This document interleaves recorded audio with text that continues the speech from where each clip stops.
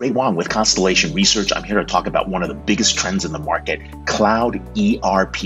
If you haven't been there, you haven't heard about this, it is so important. Why? Because a lot of organizations have existing finance, HR, operations, and supply chain systems that are sitting on premises. And when you're on premises, it's really hard to do upgrades. It's really hard to keep up with innovation. And of course, you have to manage all that in the data center. You have to manage all that in security and in upgrades. Now, one of the things that's important about the cloud is the cloud takes a lot of that pain of management away, lets you focus in on your business. More importantly, it's got flexible subscription pricing models. And of course, you get to consume innovation. It's not just the upgrade you do over the weekend, it's the upgrade that happens on a quarterly basis, or, you know, in some cases, on a monthly basis, depending on how fast cloud ERP vendors are pushing out security updates, functional updates, and of course, and new innovations.